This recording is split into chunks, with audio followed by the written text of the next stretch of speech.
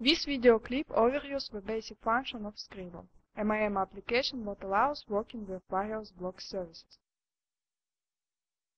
To start, we log in the system and the main window of our application appears. It displays personal data from the default profile. Now let's view our recent post. Move to the My Post page and then refresh the page.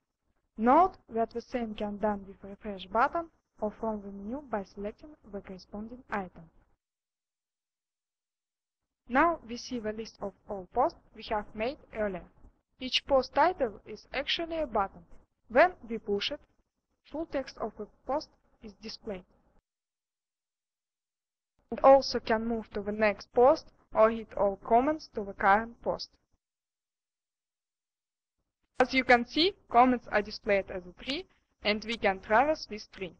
Visiting nodes of the tree, we can add new comments to the original post or add a reply to the existing comment. A user can modify her or his profile settings, for example, changing password. Adding a new profile is also supported.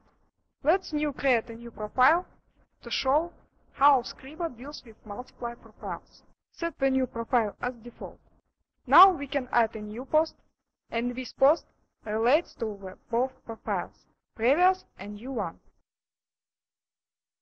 To make sure that it works, let's go to the My Post page again and press the refresh button. Well, we've quickly looked through the basic function of Scribo.